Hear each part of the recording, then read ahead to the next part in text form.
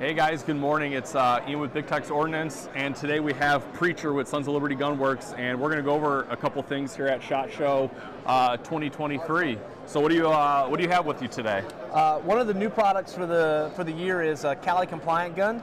Um, we're working with Comp Mag, and so what this does is is by having this particular mag, you retain all of your features that you get. It's very simple to load. We pull the spring down, we pull this out, 10 rounds in, good to go. You get all of the same features, all of the things that we're known for, all of the parts. We don't cherry pick parts. You get a hard uh, use duty grade rifle that's legal in California. No ifs, ands, or buts. RSR is going to be one of our big distributors out there. I'm sure Big Tex is going to pick some up as well for y'all that like shopping with those guys.